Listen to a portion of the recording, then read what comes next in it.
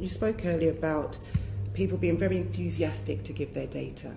I think you're over exaggerating how enthusiastic people are about just giving carte blanche access to their data. Um, are you aware that Palantir and faculty have links to the discredited Cambridge Analytica? Um, I'm not. Um, I, don't, uh, I don't think I'm aware of that, no.